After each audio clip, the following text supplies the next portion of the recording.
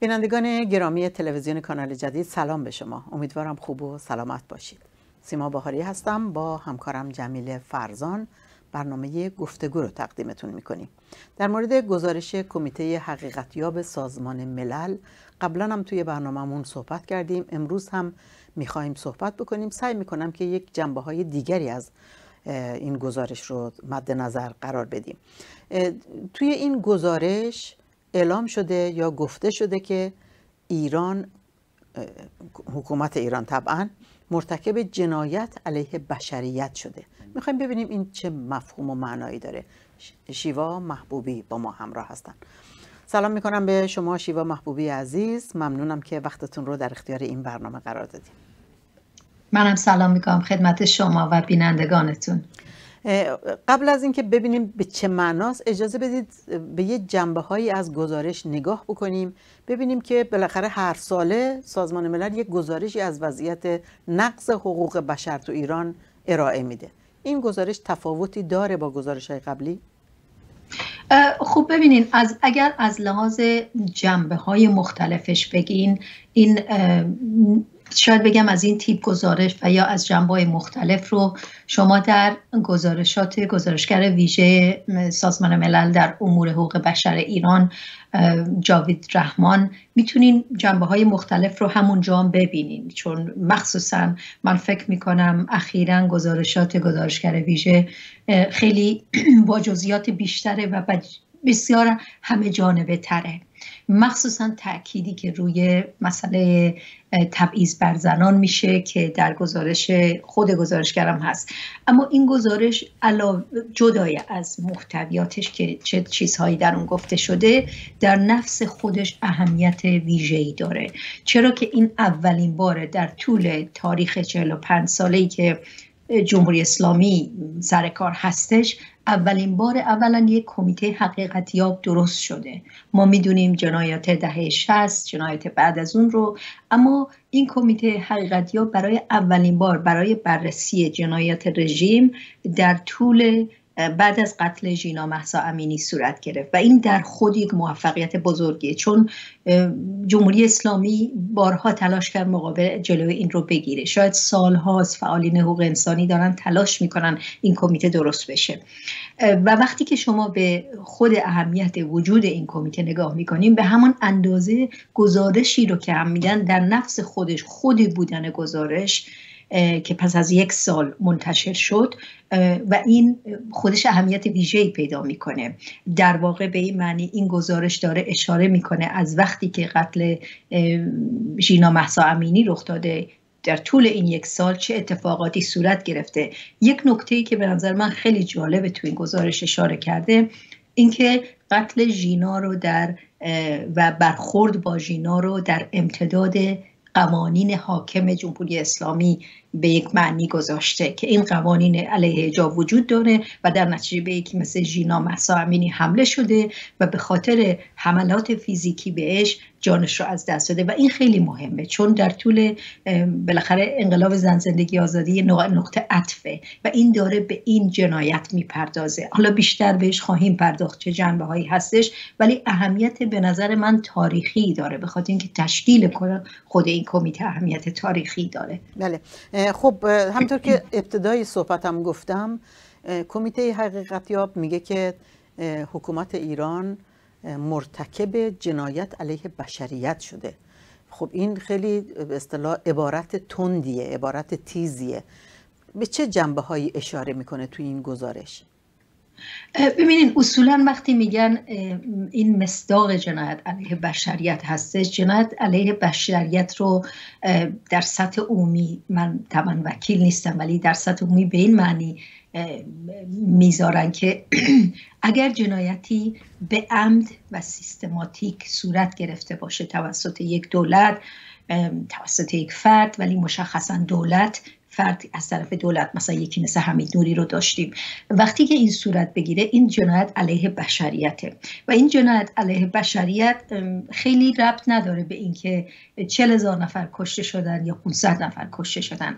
اگر این به عمد صورت بگیره این سرکوب سیستماتیک و به قصد صورت بگیره و تعداد وسیعی رو در بر بگیره در جاهای مختلف مثلا ایران این جنایت علیه بشریته. و در طول اون نگاه کردم به مثلا فرض کن شلیک گلوله های ساچمه که به قصد حتی در این گزارش اشاره کرده به زنان و مردان حتی به به آلت جنسیشون.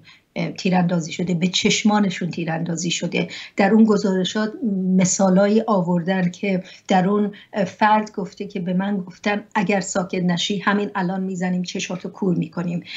و سعی کردن در طول این گزارش قصدی رو که بوده سیستماتیک بودن چون رو نشان بدن و به همون دلیل بگن این مستاق جنایت علیه بشریته. چون یک مورد نیست اتفاقی نیست توسط یک فردی نیست که جزء حکومت نباشه. توسط نیروی انتظامی بوده. یه چیز دیگه ای که نگاه کردن گلوله های جنگی که به کار برده شده. چون در نظر داشته باشین این کمیته یک سال داره تحقیق می‌کنه. مدارک بسیار زیادی در جاهای مختلف ایران به دستش رسیده و در مقایسه با همه اینا دیده که یک سیستم یک روشی در همه جاها پیاده شده و اشاره کرده حتی به تهدید خانواده ها اشاره کرده به تهدید معلمان دستگیریشون و همینطور اقلیت های اتنیکی مذهبی جنسیتی تمام اینها رو وقتی که نگاه کردن دیدن خب بالاخره این به یه دلیل این صورت گرفته. و یه چیزی رو که هم من می‌خوام بگم ببینیم وقتی گزارش اینجوری ارائه داده میشه جنایت علیه بشریت معنی داره در قوانین بین المللی این به این معنیه که اگر افرادی که مرتکب این جنایت شدن. مثلا شما مورد حمید نوری دقیقا بر اساس همین مورد محاکمه قرار گرفت. افرادی که مورد این جنایت رو در واقع دست زدن یا عاملش بودن یا عاملش بودن اینا اگر در کشور دیگه دستگیر بشن حتی اگر در اینو نباشن اینها رو محاکمه می‌کنن در اون کشورها. در نتیجه جنایت علیه بشریت معنی ویژه‌ای داره و چیزی هستش و وقتی که یک کمیسه در واقع کمیته تحقیقات یا یک کمیته مستقل از سازمان ملل این رو بر اساس به صلاح تحقیقاتش انجام میده یعنی داره میگه یک جنایتی صورت گرفته و این رو می‌ذاره جلوی دولت ها و سازمان ملل. بله. خب اشاره کردید به اینکه بالاخره سازمان ملل این جنایات جمهوری اسلامی رو مورد بررسی قرار داده. گفته که این اتفاقات افتاده. همه اینا قصد عمد سیستماتیک سازمان یافته است. داره این جنایات رو انجام میده.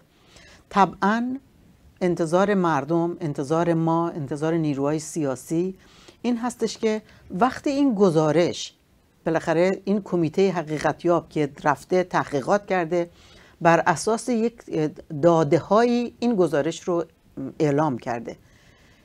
انتظار میره که سازمان ملل دستوری داشته باشه. یک کاری بخواد انجام بده.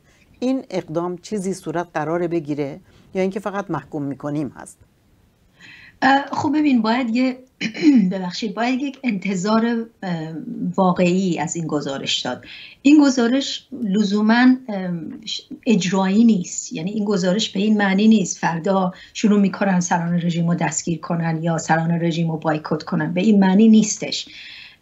در نتیجه این گزارش که البته من یه چیزی هم بگم این گزارش قراره به طور مفصل تر چون این یه خلاصه ای بود در همین دوشنبه آینده که خود منم اونجا خواهم بود در اونجا خود کمیته حقیقت یاب این رو ارائه بده و جایی هستش که تمام دولت ها هستن. همین دولت هایی که رای دادن کمیته حقیقت یاب تشکیل بشه و خود نماینده جمهوری اسلامی هم اونجا خواهد بود. ولی حتی گزارشش اونجا و دادن این گزارش به این معنی نیست که این جنبه اجرایی داره. اما یک پروسس این در واقع یک سندی هستش که تحقیق شده در طول این یک ساله این کار مستاق جنایت علیه بشریته.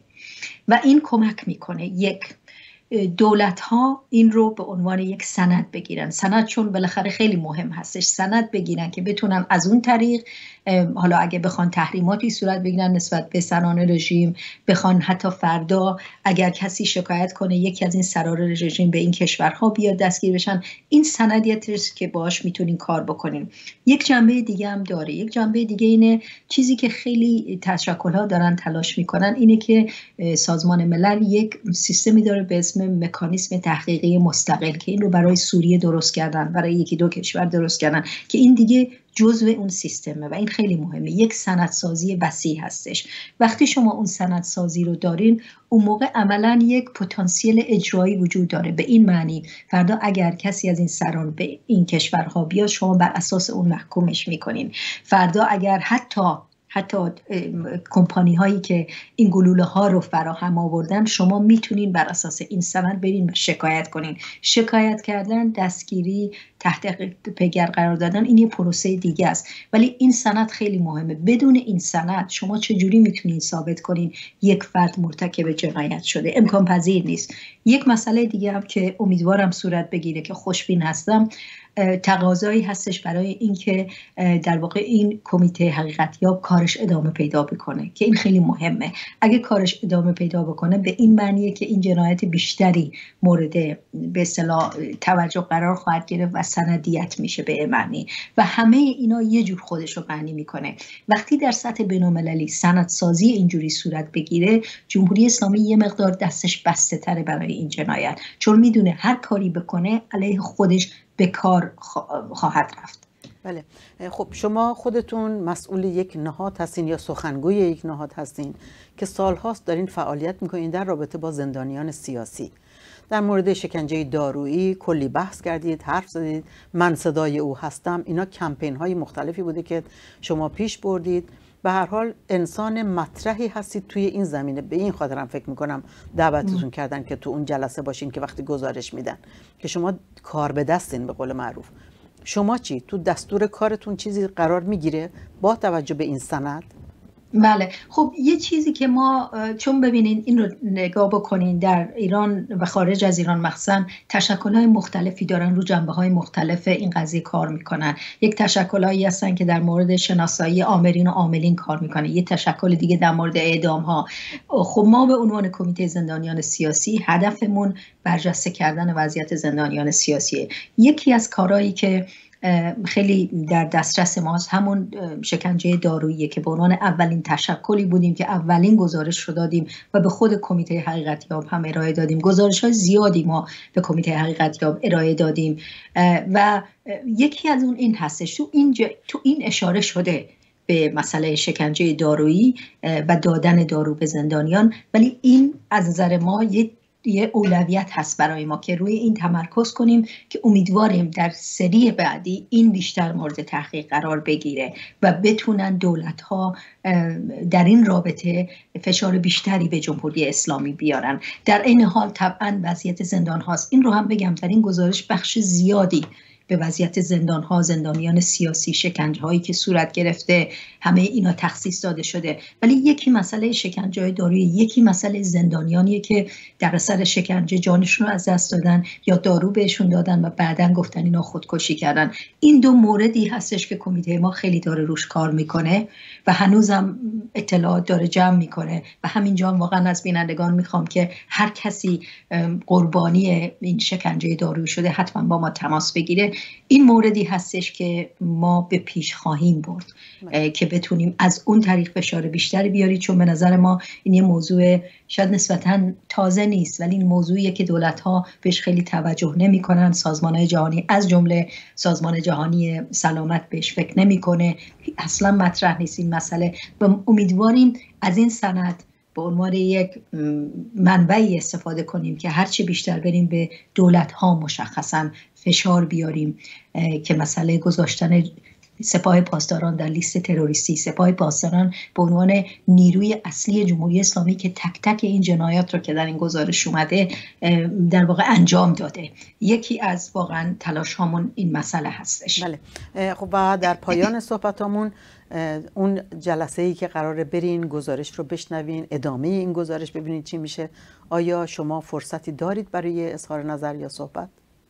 خب خود شورای حقوق بشر سازمان ملل در واقع بیشتر به دولت ها اختصاص داره و دولت ها به طور عموم اظهار نظر می‌کنن. اما سازمان های غیر دولتی 90 ثانیه در واقع بهشون وقت داده میشه که یک بخشی رو بتونن صحبتی بکنن در اون رابطه شاید بگم بیانیه نوشته شده رو که منم یکی از اون 90 ثانیه ها رو دارم که صحبت بکنیم و در این حال امیدوارم بتونیم با خود کمیته حقیقت یا که تا حالا هم چندین ملاقات داشتیم ملاقات بکنیم تاکید بکنیم. امیدوارم خود من بتونم با یه سری از نماینده های دولت ها بتونم فشار بیشتری به جمهوری اسلامی بیارن. ولی به طور عموم به اون شکل مطمئنم مثل قبل که بار قبل وقتی این کمیته به صورت شفاهی گزارش داد جمهوری اسلامی نمایندهشون اونجا هزار بار این کمیته حقیقتی یا با حرفش رو قطع کرد اعتراض کرد. ولی باید در نظر داشته باشیم شورای حقوق بشر سازمان ملل به معنی دولت ها در اونها حضور دارن. حالا با تلاش خیلی زیاد سازمان های غیر دولتی سازمان های مختلف در زمین انسانی دارن اونجا حضور دارن میشنون. ولی نلزوما اینکه جواب جمهوری اسلامی رو اونجا بدن. ولی فرصتی هستش که من بادم تصمیم دارم در اون فرصت 90 ثانیه‌ای بتونم یک تأکیدی روی مسئله آپارتاید جنسی یا دستگیری بر اساس جنسیت و همینطور زندانیان سیاسی اونجا انجام بدم. خیلی متشکرم ازتون. امیدوارم که بعد از این گزارشات و غیره هم باز هم بتونید مهمون برنامه ما باشید و گزارش بدید که ببینیم چی گذشت اونجا. متشکرم ازتون. بینندگان گرامی گفتگوی ما رو میشنیدید با شیوا محبوبی سخنگوی کمیته زندانیان سیاسی در واقع دفاع از زندانیان سیاسی. امیدوارم بحثمون مورد توجه شما عزیزان قرار گرفته باشه. من سیما بهاری با همکارم جمیل فرزان برای شما ساعت لحظه خوبی آرزو مندیم پیروز باشید.